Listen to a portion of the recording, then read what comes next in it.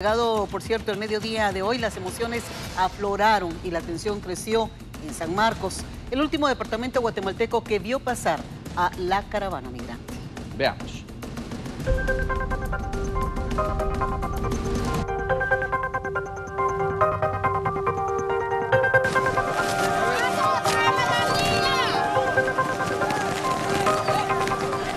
Faltaban minutos para llegar el mediodía del viernes, hora indicada para intentar llegar a México, la tensión se apoderó por completo de los miles de migrantes y las imágenes hablan por sí mismas. Algunos no soportaron la presión.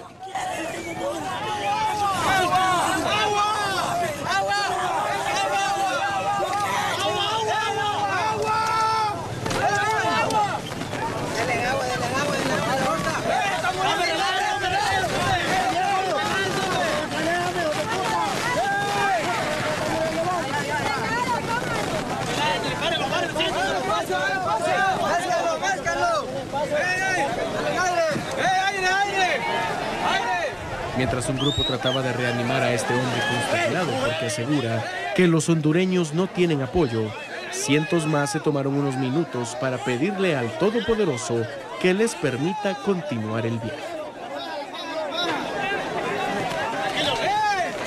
barreras, Padre, para poder entrar a esa tierra. Gracias, Señor. Tenemos fe en ti, Padre. Aleluya. Bendito es el nombre del Señor. Declaramos, Padre, victoria, victoria. Alaben al Señor. Él está acá con nosotros. Aleluya. Él está acá. Sí, Señor. Tú estás derramando bendiciones desde lo alto. Aquí